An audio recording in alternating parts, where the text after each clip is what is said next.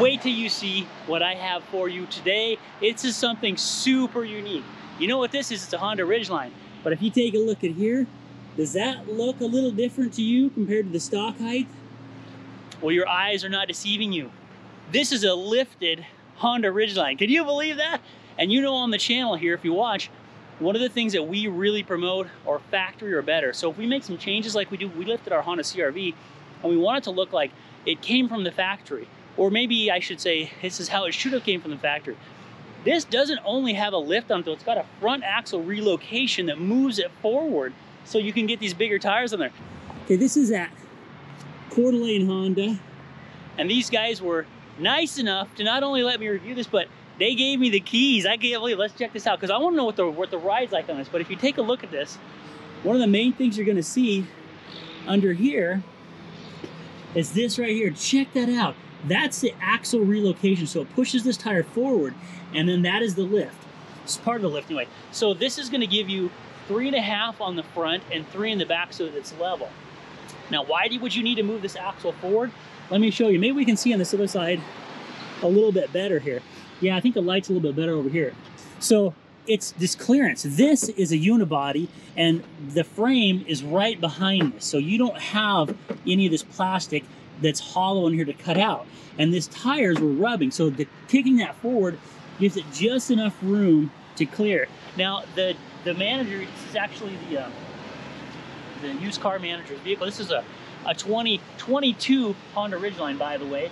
He's added, these are 30 and a half inch tires on the front. Now you can get 31 and a half on this, but if you do that, you have to do a couple things. You've actually got to take out part of this front fender. It's gonna rub right here, and it's gonna rub a little bit in the back. Now he's also put some spacers on this. We've got uh, inch and a half inch spacers and these are 30 and a half and it's it's clearing just fine. Doesn't this look crazy? Does this not change dramatically the way this truck looks? Look at that. We'll go look at one of the other ones. Now, uh, the, the factory height on these is about, I believe it's about 30 inches. Actually, let's take a look at this one over here, since there happens to be a comparable right here that we can go take a look at. So this is the factory right here. Let's see what we got here. Like 33 and an eighth. So factory on the front is 33 and the eighth. The back's a little bit taller on these, but let's take a look at this one and see we got. I'm pretty excited about this. I can't believe how this looks like a truck. Okay, let's take a look here. Look at that. 36 and a half. That's wild. And the back should be about the same. Let's check out the back. The back is actually taller. Okay, so you get your, you still get that factory rake look on here. Let's look at that again. 38. So it's a little bit closer to level, but not exactly. Now the back here, see the spacers on the back right there? Now the kit is a Traxda or Trexta, I might be pronouncing that wrong, but one of the cool things about these guys at d'Alene Honda that I really appreciate is that they're doing some customization to your rigs now. These guys are also putting a skid plate on the front of this, which he told me was in the back of the truck. And since I have the keys, we're gonna take a little peek and see what we see here. Let's open this up. There it is. Oh, look at that. That is red. That's really cool. Come on, look. Sort of maybe. Yeah, look at that. So this has red stitching and it looks like some of the seat actually has the red in it as well, which is pretty cool. Oh look, red in the in the cup holders, the plastic there. So that's gonna look pretty awesome because he's gonna have a red accent on here. I mean, he had those powder coated red those did not come red, so he had those powder coated. And then they're gonna put the red skid plate underneath here. I think he's gonna put a real low profile, um, what do you call those, bug, bug deflector on that one. That should look pretty awesome. I tell you, oh, and, and then he tinted the front windshield. I tell you, one of the things I'm really curious about though, is the ride on this. Did that mess with the ride? It's not supposed to, but you never know. Sometimes when you're doing these, as you know if you've been following us on the channel, it does change a lot. And look at this, these are factory step sides, Ridgeline. All right, let's take this baby for a ride and see how it does.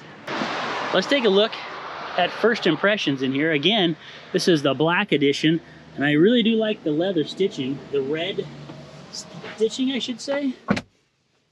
Okay, this is pretty cool. So this is a very similar feel initially to um, Renee's car, which is the Honda CRV. But let's fire this baby up.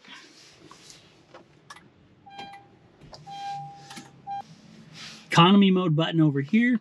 We've got a lot of the same things um, that we'd have in the other Hondas that you're familiar with. Lane mitigation, traction control, collision, um, parking, that type of thing. This has also got a cargo light, and that must be a defroster. So very similar controls, which you would expect, right? You wouldn't think you'd get into one Honda and it'd be significantly different from another. But so like let's take this for a quick little jaunt. He never told me how far we could drive or not drive. So we won't abuse it. We won't abuse it, but we are going to take a little peek around the block and see if we can find a bump or two.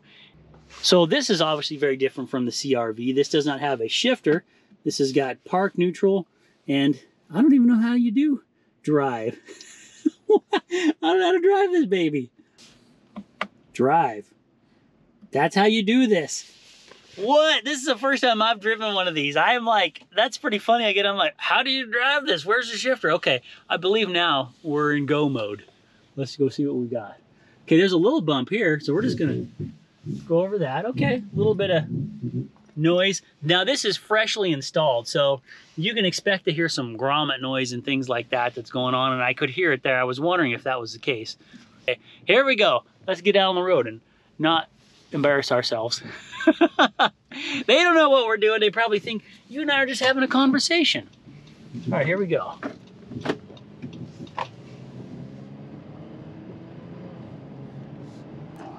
One of the most important aspects of driving, of course, is power. How is this? And this is a notably bigger engine than on the CRV. So let's uh, let's go through this intersection here.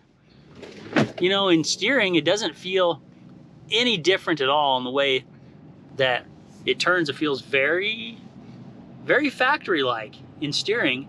So that's a good test. It passes that one. Now the next will be a little a little bit of acceleration. We won't go crazy. This is not our vehicle. We'll be very respectable, but we got to test it. And I think there's a good spot right up here. Nothing like a good roundabout to test the cornering. Huh? Like how's it how's it steer around these babies?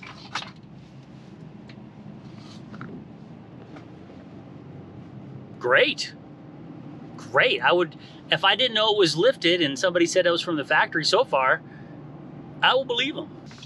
All right, let's test a little bit of acceleration. Oh, oh, hey, that's not so bad. That uh, that was uh, noticeable. You had to wait for the turbo to kick in there, but uh, not too shabby.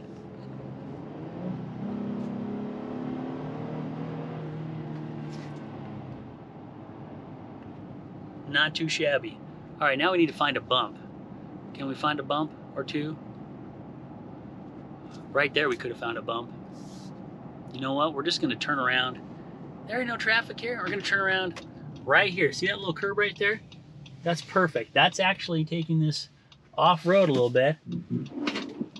Oh, there's no way a normal factory would have cleared that. That was awesome. I mean, that was pretty cool. I hear a little more like that grommet noise. And back up on the road,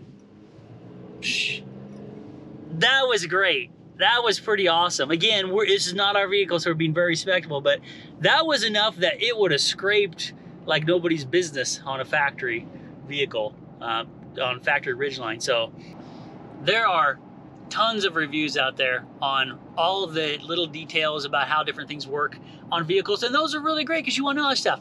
We like to cover the stuff that you don't always get. Like, what does it feel? Does it seem cool? Is it fun to drive? And can it jump? Well, we didn't jump this baby, but we took it off a pretty steep curve. So this one has a lift. So tune in when we do uh, reviews on, on new vehicles because we look for interesting stuff. And I'm saying this one definitely categorizes itself, finds itself in the interesting category, extremely so. That was pretty great. Okay, we we've driven now around now a little bit. We got to take this back again. It only has, you know, what we say 40 miles on this thing. So we uh no, 20 miles. Oh my gosh, now I've put in another now it's boy, I can't keep this. I got to get this back. I don't want to take it back and have it go from 20 miles to like 40 or something. We've only put in a couple on it, so we're being careful. But how awesome is that? Let's get this puppy back.